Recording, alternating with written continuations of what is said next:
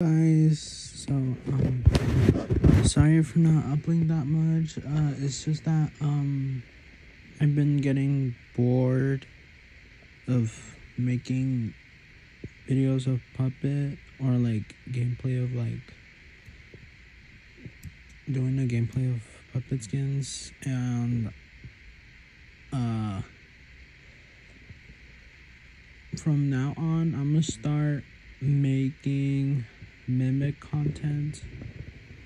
And I mean I mean I won't I won't oh I mean I won't post puppet videos or content but I will still play with puppets. So maybe you could still probably meet me at puppet if there's a new pass or whatever.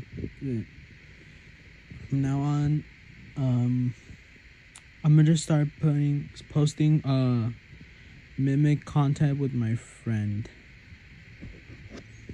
That's all. Thank you